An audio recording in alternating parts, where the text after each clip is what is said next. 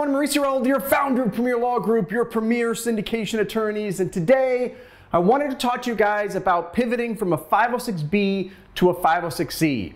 Now, this is a relatively new rule that came out about 18 months ago and was actually the topic of my inaugural Real Estate Syndicator Live that we did, uh, where we did a really deep dive into this topic for about an hour or so. But I wanted to give you guys sort of a summary, and if you guys are more interested, you can always go check out that video.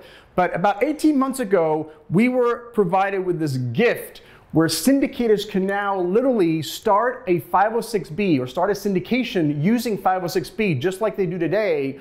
But at some point during that raise, make the decision to pivot, to actually terminate or stop that 506B and turn it into a 506C. Now, obviously, you can see that if you've started a raise and you're falling short, you're having a little bit of a hard time uh, raising the capital from the people already in your network, having this option of pivoting is actually pretty attractive so that you can get your raise over the finish line. Now, to be clear, we're talking about the same apartment building, the same piece of real estate, the same deal, but we're technically talking about two separate offerings. But this is how it works. You start your offering just like you do now under a 506B, and you comply fully with the terms of 506B, right? So you can take up to 35 non-accredited investors. There's no advertising, no generally soliciting, uh, but you generally have to have a pre-existing substantive relationship with your investors. But you can take up to 35 non-accredited, which is obviously the attractive part of that uh, exemption.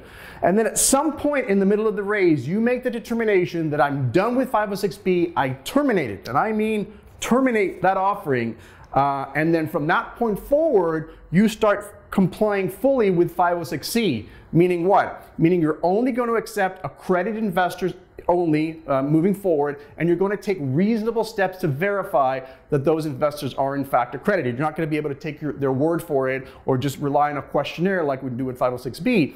But you are allowed, obviously, to generally solicit and advertise. So you can now put your offering on social media, go on podcasts, do whatever it is you need to do in order to market your deal and get that deal across the finish line without having to have that pre existing substantive relationship. A lot of clients are starting to do this because, as you can imagine, it's getting a little bit harder to raise capital these days, and having this option in your back pocket is really, really cool. Now, there are some best practices or safeguards that we like to implement when using this strategy. One of those best practices is to make the decision to do the pivot prior to starting your syndication. And the reason we want to do it prior to starting the syndication is because we want to give everybody the proper disclosures and let them know that this is what we plan on doing, or at least something that we potentially will plan on doing.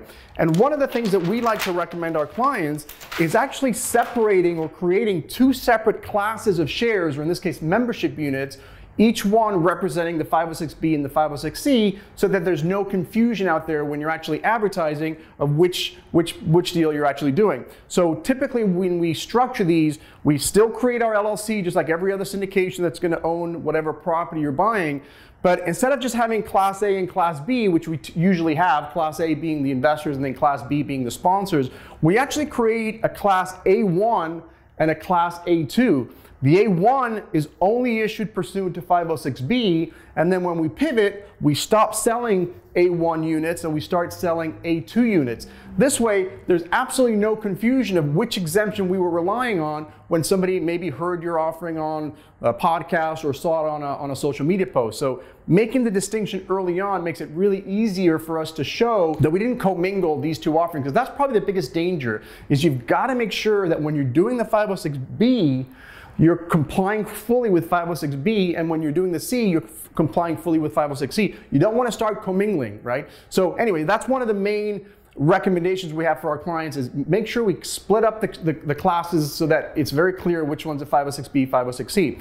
The other thing that's very, very important is to make sure that it's very clear when you made that termination, when you actually made the decision to stop doing the 506B and start doing the 506C. This is critical because again, you want to be able to show that there's no commingling. One of the ways we like to do that is through actually a corporate resolution. We like to actually do a resolution that says, hey, on this date, we have terminating our 506B offering. We're no longer doing a 506B. We're no longer accepting documents. We're no longer accepting wires. There's no lingering uh, effects. There's no IRA money that's you know that's been, been delayed. We, we're completely done with 506B, and on this date we're pivoting to 506C. And it's really nice to have that corporate resolution or written consent in your file. And by the way, I would actually notarize that document as well, or DocuSign it, or something that timestamps it, so there's no way anybody can argue that you've actually backdated that or, or done that after the fact. So those are kind of our top two recommendations for best practices. And of course, the last one we would do is actually file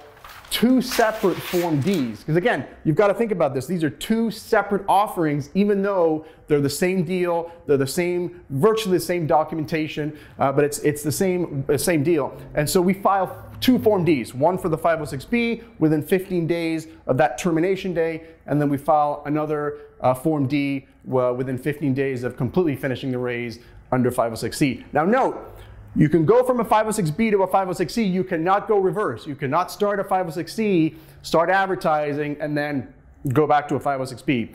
So if you want to get a little bit more in depth of it, I'll put the link down below of our Real Estate Syndicator Live episode one, our inaugural episode, and you can check out more details then. Until then, we'll see you next time.